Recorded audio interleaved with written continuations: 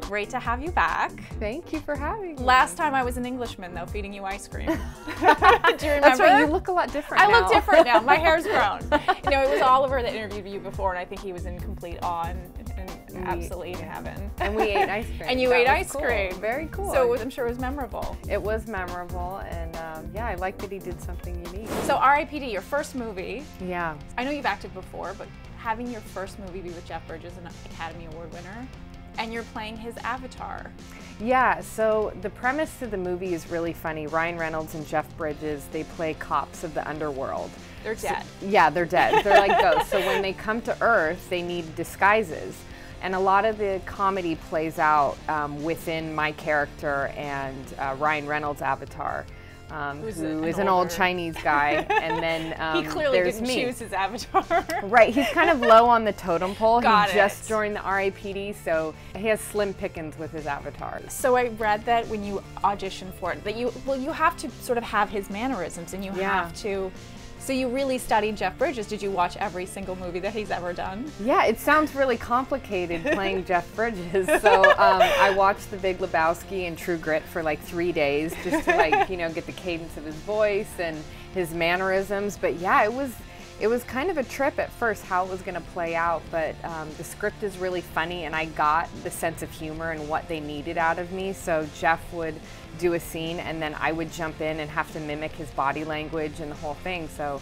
It was for my first movie. It was, um, you know, such an honor yeah. to watch him work. It was amazing. And then off camera, did you find because you, on paper, you would seemingly be very different, but have you found any similarities between him and you? yeah, I mean, he's, you know, a laid back guy. He Yeah. lives in California. He loves music. So when we'd get our makeup done together in the morning, he'd always have some good music playing. It's and- funny hearing him getting his makeup done. Yeah, I mean, obviously it's a little it's a little minimal, different but than, yeah, yeah. the makeup you were getting done Yeah, for exactly. the movie. Yeah. But uh, isn't he a surfer too? Because I know you're a surfer. Yeah, yeah. So there's definitely kind of that beach, laid back California Yeah. thing going on. And, you know, I mean, he's as cool as you think he'd be. He was great. Was it nerve wracking at all being your first film and working? Yeah, I mean, going into it, you know, Kevin Bacon, Ryan Reynolds, Mary Louise Parker, I mean, these are like heavy hitters. So at first it was really intimidating thinking about being on set with everybody, but everybody's just really funny too. My first scene was with Kevin Bacon, and I had to give myself like a full pep talk. Did you know? really? Yeah, because Were you in your trailer going, okay, Marisa? go down." yeah, and it's like you got your mic on too, so it's like I don't want the sound guys hearing like me go, "Come on, Marisa," you know, like. That's always like a famous thing with actors that some actors forget that they have their mic, on. Mic on, yeah. And they go to the bathroom or they do Oh, whatever yeah. at lunch or they talk behind the director's back or they Oh, do yeah. something and then they're like, you got to be mindful. you yeah. have to be mindful. Yeah. So you were just talking I was having like a silent panic attack. So you did, I know you did some stunts in this film. yeah, I got hit by a bus. yeah, that was pretty cool. Um, you know, I'm I'm naturally athletic.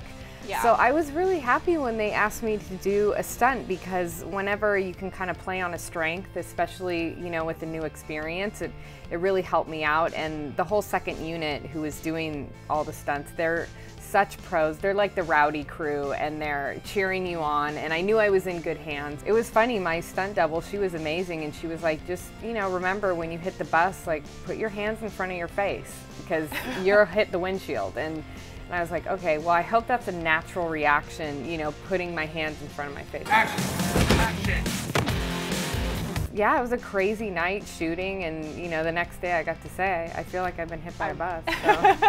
and it was sort of like the image that people see. It's sort of like you're like a bug in a windshield. Yeah, that's what I was channeling. I'm, I'm a, a bug. bug. I'm a bug. They really threw you in for your first film, didn't you? yeah, and it was funny because I think ignorance was bliss doing the stunt because looking back, it was really dangerous, but it's so mental you can't even think about it. You just have to take the direction, really focus, and do it, or you can freak yourself out. I feel like there's, and too, I've heard this from a lot of actors that they want to do their own stunts. Like they really want to get Right. in there and do it. What is that? because it doesn't feel real if you don't, Right. you know. And um, I think you know when you're playing a character, you're trying to embody the whole thing. So if you can't do part of it, I don't know.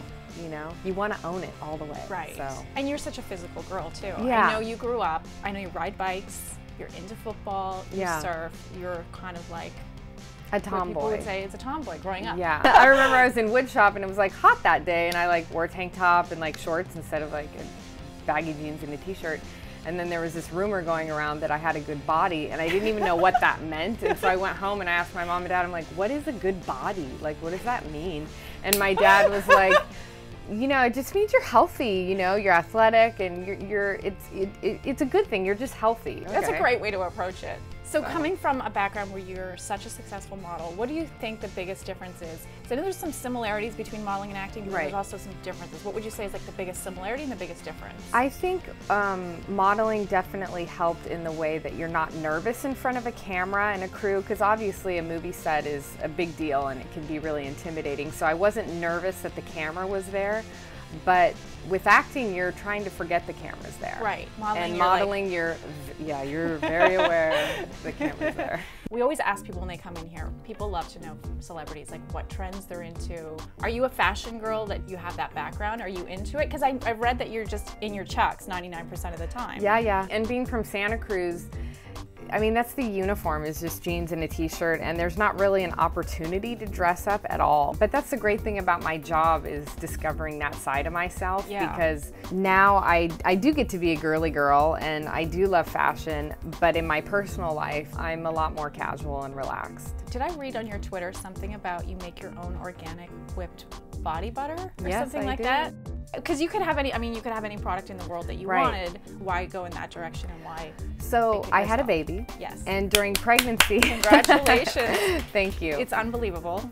well, it's been it seven wasn't that months. long ago. Well, it's been seven months and it just came together in the last couple months. Did you give yourself that time? I gave myself time. I Yeah. really, the most important thing for me was that I wanted to be healthy for the baby. And I didn't Yeah. know what my body was going to do. And I just wanted it to happen naturally. So if I gained weight, I gained weight and I didn't want to worry about it. Whatever was Yeah. healthy is what I wanted. So I'm really happy with where I'm at. So with the products, when I got pregnant, I really tried to like clean out all my lotions and potions and just tried to like really skim down like no no toxic chemicals and and that kind of a thing so i just i don't know i was on these like mommy blog you know hippie websites. And i was like okay let me make some body butter and i really like it and i continue to use it now. I didn't get stretch marks and so yeah it worked There me. you go. Now everybody's going to want to know how to make it. because really if you say no stretch marks, people are, women at home are going to be like, how did she do So what's what goes in it? cocoa butter, shea butter, coconut oil, and then um, you can use jojoba oil or almond oil, and you just melt everything in a double broiler, stick it in the refrigerator for an hour, and then whip it up for 10 minutes, So and it looks me- like frosting. You had me until you said double broiler. Anything to do with cooking or a stove freaks me. you it lost sounds complicated, but it's not. And then you, you know, add some essential oils and make your own little fragrance. It's super easy. So what would be your, because you're an A-list model, you're an A-lister, what would be your advice to somebody breaking into the business now? Because I feel like it's so difficult and there's so many people, and, and acting too. I think the biggest thing is the people around you, your support system, and just having people that keep you grounded, that are positive. That is the biggest thing. You know, my family and, you know, the team of people I have at work are just great people. It's positive. It keeps you grounded. It's really important, you know.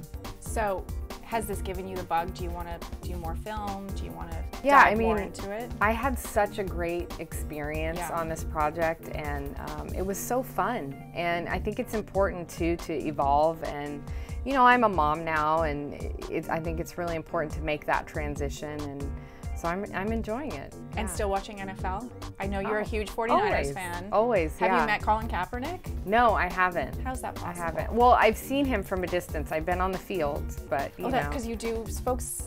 Well, I, You're I just I'm a fan, so Yeah. I you know when I go to any Niner game I can, and it's something that I've done with my dad since I was eight years old. Were you heartbroken at the end of the last Super Bowl? I mean, you know, I was, but at the same time, you know, um, the team has been so amazing the last couple years that you're just, I, I, as a fan, you're just happy to see them do so well after, you know, being a little quiet for a decade or so. It was great having you here. Thank you. Thanks Congratulations on the film. Thank you. You look nothing really like excited. Jeff Bridges, but you know. That's probably a good thing. Thank Sorry, you. Jeff.